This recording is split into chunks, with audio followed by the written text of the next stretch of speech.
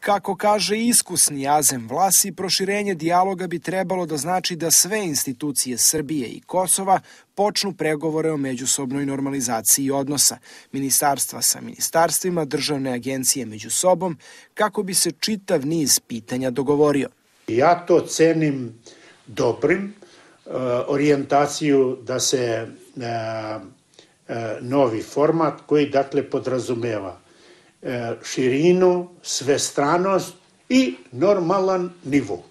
Kad god je potrebno, može i na nivou premijera, ali ne stalno da se nastave na tom nivou. To je to. Novi protesti opozicije u Prištini usledili su posle napisa u listovima Zeri i Kohadi Tore, koji navode da će zajednica srpskih opština ubrzo biti formirana, jer je u zamenu Priština već dobila viznu liberalizaciju od Evropske unije. Naša strana je obavezna da se drži odluke Ustavnog suda, srpska strana kaže nas se to ne tiče i zato su nastali problemi, inače ta zajednica će biti formirana. Milovan Drecun kaže da je nemoguće proširiti dijalog tako što će u pregovore biti uključena ista ona opozicija predvođena pokretom samoopredeljenje koja baca suzavac u parlamentu i na ulicama se protivi bilo kakvom sporazumu sa Beogradom raznoraznim obstrukcijama, raznoraznim nelogičnim potezima, neracionalnim, neostvarivim predlozima, političkim smicalicama, Priština nastoji da izbegne realizaciju onoga što je temeljni stup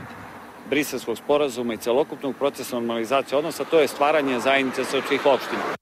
Kosovska ministarka za dijalog Edita Tahiri tvrdi da će demarkacija granice sa Srbijom biti prioritet u narednoj rundi razgovora sa Beogradom. Ona je rekla da Priština očekuje da se razgovori završe međusobnim priznanjem